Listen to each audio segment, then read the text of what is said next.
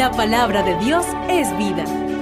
Ilumina nuestro corazón y alimenta el alma. Radio Natividad presenta el Evangelio de hoy.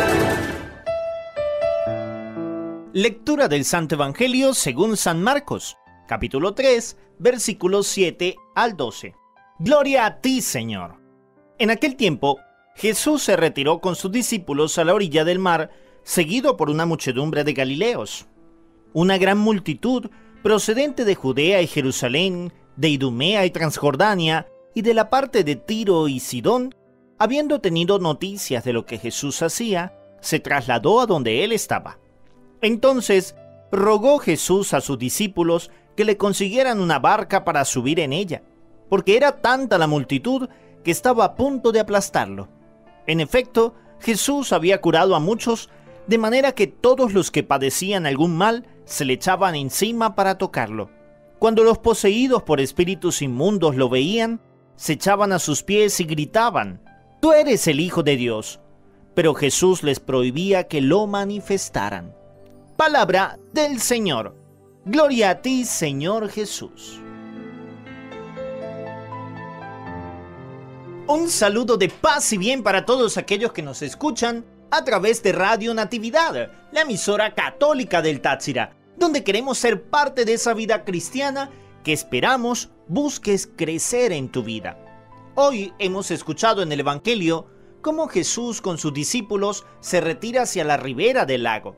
Mucha gente lo seguía, de la misma Galilea, también de Judea, de Jerusalén, de Idumea, Transjordania, del país de Tiro y de Sidón. De manera manifiesta, Marcos insiste en toda esta geografía. No son solo los judíos de Palestina quienes corren tras Jesús, sino gentes de todas las comarcas y regiones vecinas, algunos paganos sin duda, atraídos por su palabra y por sus curaciones. Es que la misión de Jesús es esa, atraer a través del Evangelio, ser misionero. Hoy cuestionamos a los que buscan al verdadero Dios. Señor, que tu iglesia sea toda ella misionera como tú. Judea, Idumea, Transjordania. No llega aún a la apertura internacional total como Pentecostés, pero ya es el primer signo. ¿Cómo es la apertura de nuestro corazón a ese Jesús? Oyendo lo que hacía, acudían a él. Dijo a sus discípulos que le preparasen una barca para que la gente no lo aplastara. Jesús estaba apretujado por mucha gente. Lamentablemente, muchas de esas personas se volverán un día contra él, pero por el momento lo andan buscando. Y tal vez así es nuestra relación cristiana hoy. En muchas ocasiones cuando necesitamos a Jesús lo buscamos, lo amamos, le rogamos, le agradecemos, le suplicamos, hasta lo sentimos en nuestras vidas. ¿Cuántas personas no dicen, sí, yo sentí una epifanía, el Señor se manifestó en mí, se me apareció alguien y me dijo y pude resolver este problema? Pero en cuántas otras, ante un conflicto, ante una situación dura y difícil en nuestras vidas, nos volvemos contra Dios. Qué maravillosa escena la que nos da hoy el Evangelio.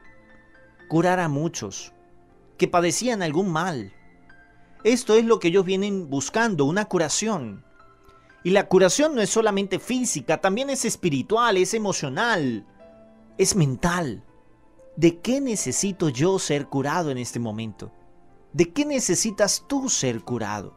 Porque Jesús puede hacerlo y lo hará en la medida en que tú le busques, pero sobre todo te comprometas a amarle siempre. Dios te bendiga. Gloria al Padre y al Hijo y al Espíritu Santo, como era en el principio, ahora y siempre, por los siglos de los siglos. Amén.